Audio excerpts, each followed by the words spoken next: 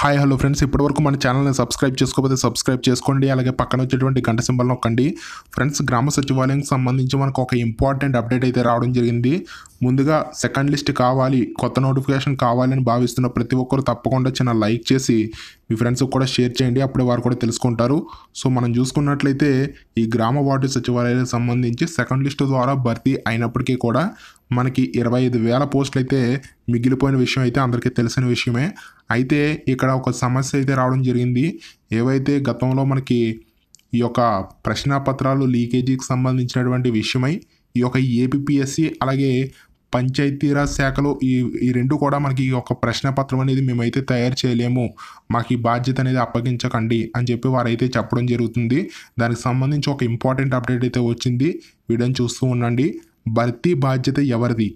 గ్రామ సచివాలయ నియామకాలు చేపట్టేందుకు ఏపీఎస్సి అలాగే పంచాయతీరాజ్ శాఖలు విముఖత అని చెప్పేసి ఇక్కడ ఒక మెయిన్ పాయింట్స్ అయితే ఇవ్వడం జరిగింది.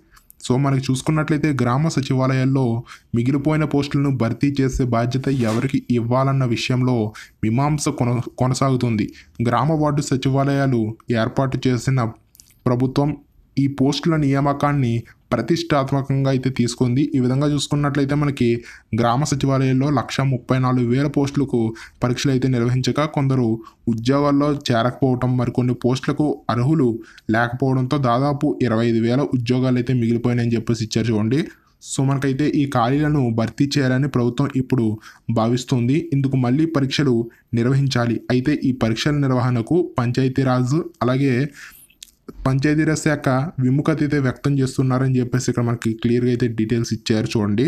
సో మనకి ఈ విధంగా ఇవ్వడం వల్ల ఈ యొక్క పరీక్షలు ఏవైతే ఉన్నాయో వాటినన్నింటినీ కూడా జిల్లా స్థాయిలోనే కలెక్టర్ చైర్మన్గా ఖాళీలు భర్తీ చేసే అవకాశాన్ని ప్రత్యామ్నాయంగా పరిశీలిస్తున్నామని పేర్కొనడం జరిగింది. అయితే మనకి డిస్ట్రిక్ట్ వైజ్గానే ఈ యొక్క పరీక్షలు అనేవి నిర్వహిస్తారని చెప్పేసి ఇవ్వడం జరిగింది. సో ఇది ఫ్రెండ్స్ ఇప్పటివరకు ఉన్నటువంటి గ్రామ సచివాలయం సంబంధించిన లేటెస్ట్ అప్డేట్. మరిన్ని అప్డేట్స్ కోసం మన ఛానల్ని వెంటనే సబ్స్క్రైబ్ చేసుకుని పక్కన వచ్చేటువంటి గంటను నొక్కండి. ఈ విధంగా చేయడం ద్వారా నేను పెట్టేటువంటి గ్రామ సచివాలయం సంబంధించినటువంటి ఇంపార్టెంట్ అప్డేట్స్ డైరెక్ట్గా మీ మొబైల్కి నోటిఫికేషన్ రూపంలో వస్తుంది.